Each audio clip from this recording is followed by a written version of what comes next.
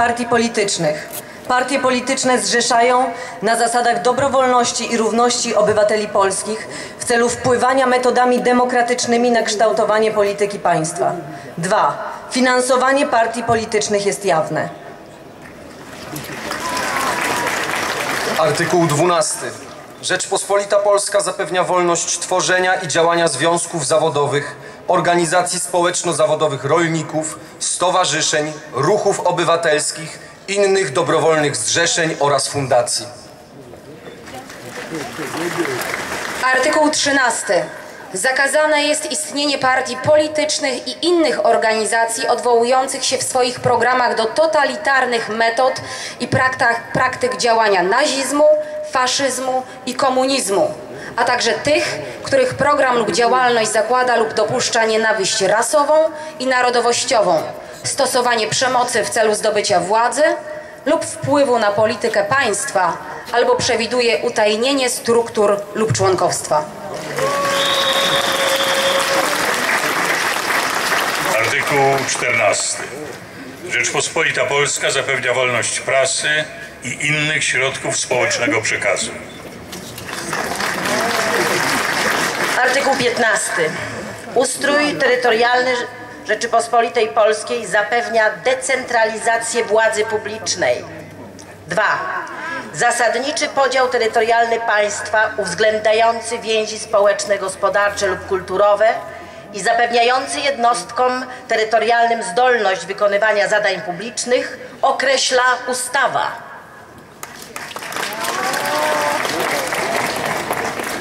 Artykuł 16. 1.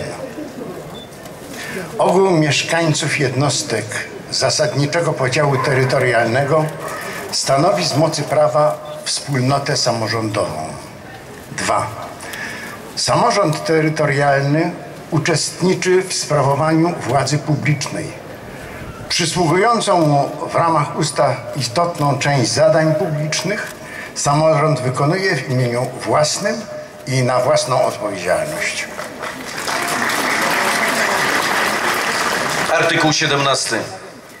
W drodze ustawy można tworzyć samorządy zawodowe reprezentujące osoby wykonujące zawody zaufania publicznego i sprawujące pieczę nad należytym wykonywaniem tych zawodów w granicach interesu publicznego i dla jego ochrony.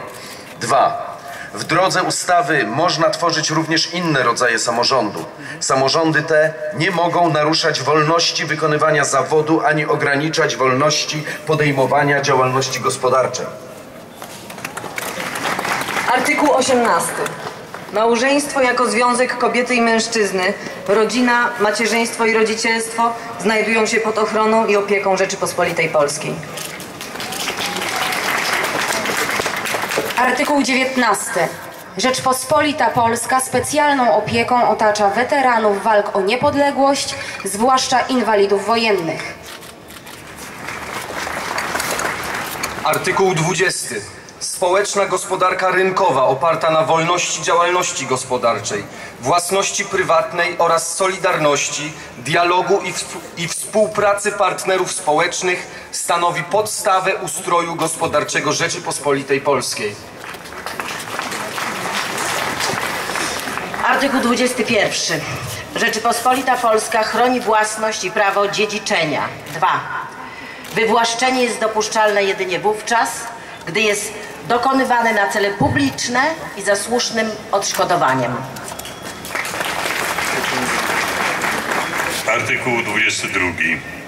Ograniczenie wolności działalności gospodarczej jest dopuszczalne tylko w drodze ustawy i tylko ze względu na ważny interes publiczny. Artykuł 23. Podstawą ustroju rolnego państwa jest gospodarstwo rodzinne.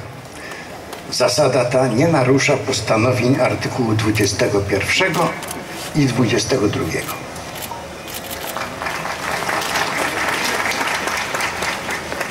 Artykuł 24. Praca znajduje się pod ochroną Rzeczypospolitej Polskiej. Prawo sprawuje nadzór nad warunkami wykonywania pracy. Artykuł 25. Kościoły i inne związki wyznaniowe są równouprawnione. 2.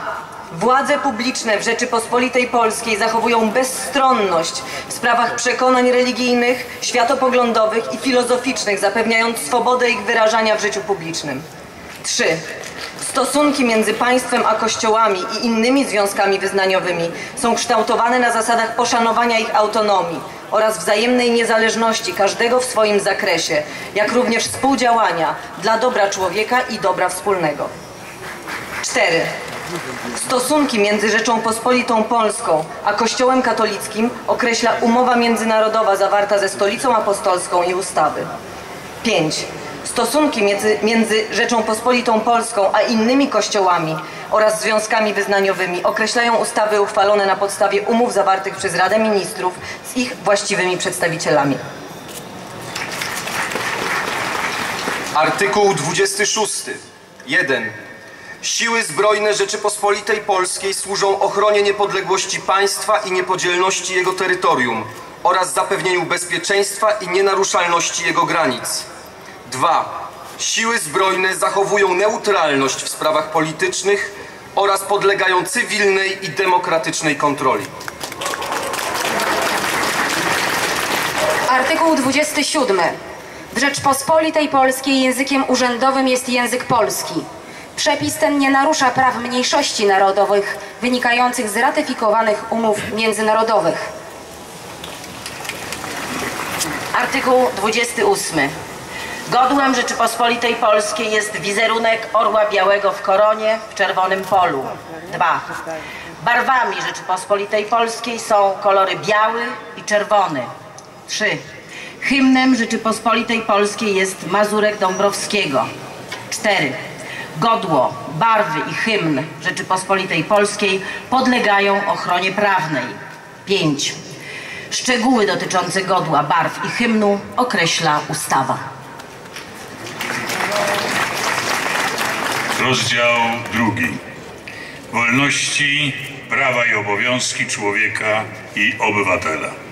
Zasady ogólne. Artykuł 30. Przyrodzona i niezbywalna godność człowieka stanowi źródło wolności i praw człowieka i obywatela. Jest ona nienaruszalna, a jej poszanowanie i ochrona jest obowiązkiem władz publicznych. Artykuł 31. 1. Wolność człowieka podlega ochronie prawnej. 2. Każdy jest obowiązany szanować wolność i prawa innych. Nikogo nie wolno zmuszać do czynienia tego, czego prawo mu nie nakazuje. 3.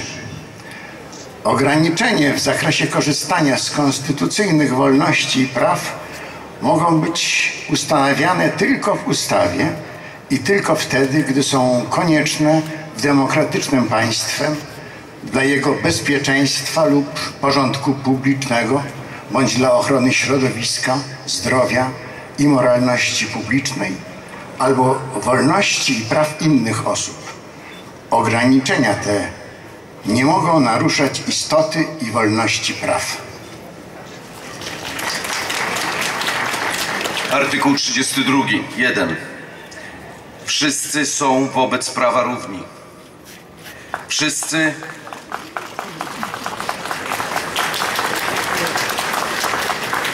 Wszyscy mają prawo do równego traktowania przez władze publiczne. 2. Nikt nie może być dyskryminowany w życiu politycznym, społecznym lub gospodarczym z jakiejkolwiek przyczyny. Artykuł 33. 1. Kobieta i mężczyzna w Rzeczypospolitej Polskiej mają równe prawa w życiu rodzinnym, politycznym, społecznym i gospodarczym. 2. Kobieta i mężczyzna mają w szczególności równe prawo do kształcenia, zatrudnienia i awansów, do jednakowego wynagrodzenia za pracę jednakowej wartości, do zabezpieczenia społecznego oraz do zajmowania stanowisk, pełnienia funkcji oraz uzyskiwania godności publicznych i odznaczeń. Artykuł 34. 1. Obywatelstwo polskie nabywa się przez urodzenie z rodziców będących obywatelami polskimi. Inne przypadki nabycia obywatelstwa polskiego określa ustawa. 2. Obywatel polski nie może utracić obywatelstwa polskiego, chyba że sam się go zrzeknie. Artykuł 35. Rzeczpospolita Polska zapewnia obywatelom polskim należącym do mniejszości narodowych i etnicznych wolność zachowania i rozwoju własnego języka, zachowania obyczajów i tradycji oraz rozwoju własnej kultury. 2. Mniejszości narodowe i etniczne mają prawo do tworzenia własnych instytucji edukacyjnych, kulturalnych i instytucji służących ochronie tożsamości religijnych oraz do uczestnictwa w rozstrzyganiu spraw dotyczących ich tożsamości kulturowej. Wolności i prawa osobiste. Artykuł 38. Rzeczpospolita Polska zapewnia każdemu człowiekowi prawną ochronę życia. Artykuł 39.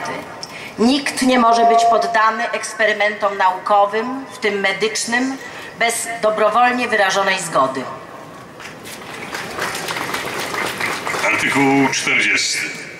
Nikt nie może być poddany torturom ani okrutnemu, nieludzkiemu lub poniżającemu traktowaniu i karaniu. Zakazuje się stosowania kar cielesnych. Artykuł 41. 1. Każdemu zapewnia się nietykalność osobistą i wolność osobistą. Pozbawienie lub ograniczenie wolności może nastąpić tylko na zasadach i w trybie określonych w ustawie. Artykuł 45. 1. Każdy ma prawo do sprawiedliwego i jawnego rozpatrzenia sprawy bez nieuzasadnionej zwłoki przez właściwy, niezależny, bezstronny i niezawisły sąd.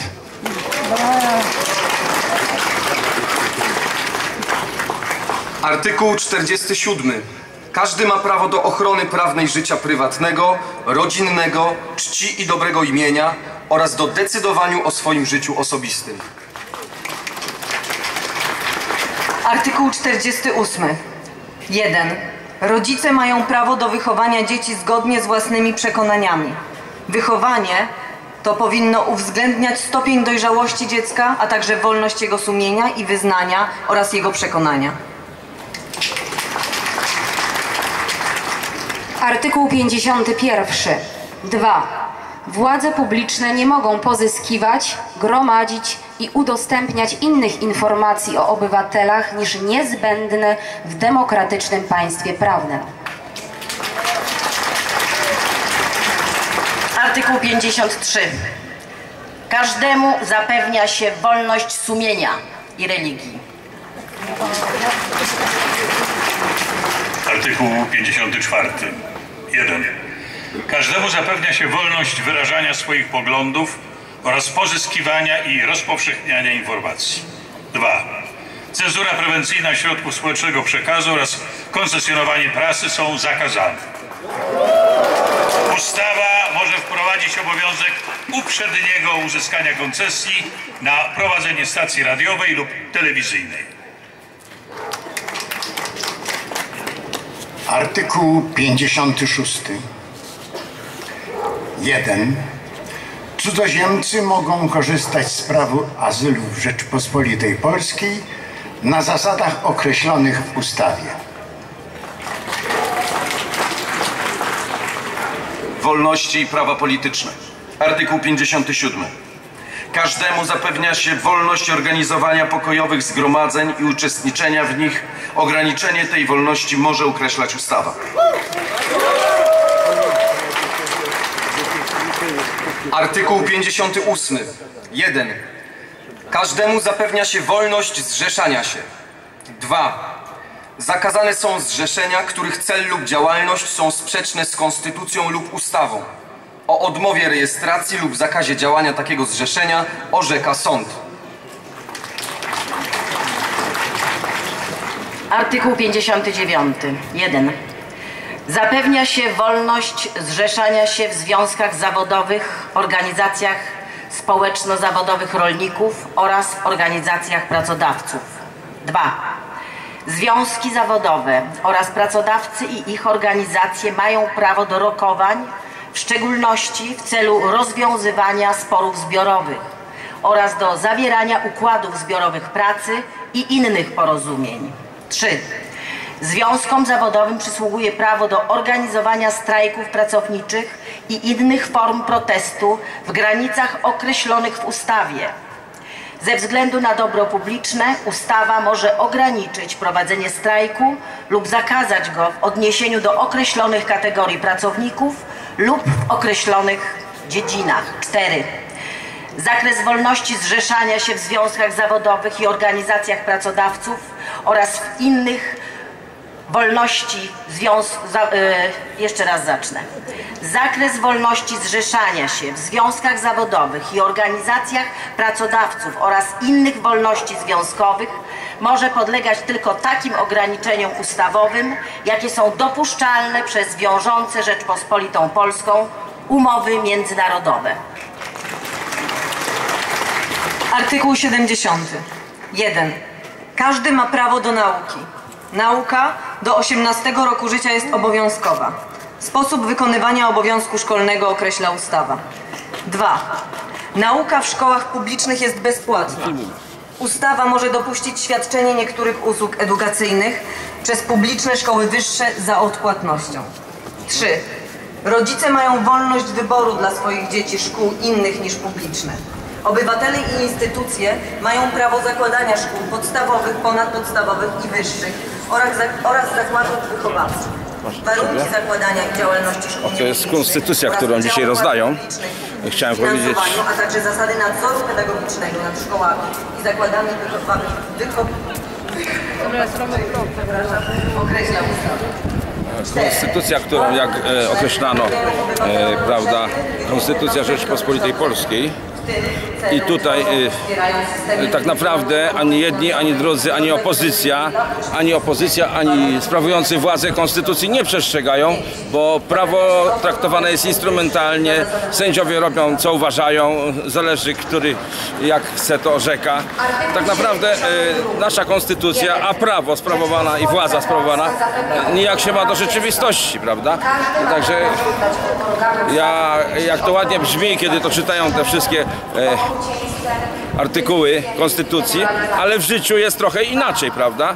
W życiu jest trochę inaczej, bo Konstytucji nawet władza tak naprawdę nie przestrzega y, i obojętnie kto by sprawował tą władzę, nie patrząc jak i poprzednia, tak i dzisiejsza władza Konstytucji nie przestrzega. Ja, jako wolny człowiek, czerwony korsarz, mogę to powiedzieć z Gdańska, Sławomir Ziembiński, pozdrawiam.